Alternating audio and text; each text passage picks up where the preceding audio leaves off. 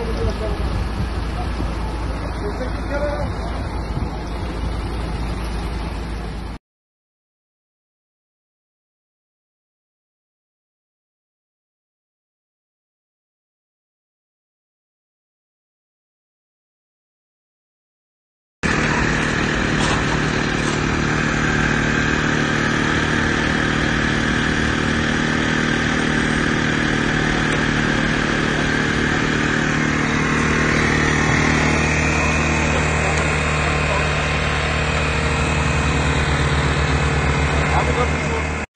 Manisa Son Haber. İlkeli, hızlı, cesur, tarafsız ve halkın yanında haber sitesi. manisasonhaber.com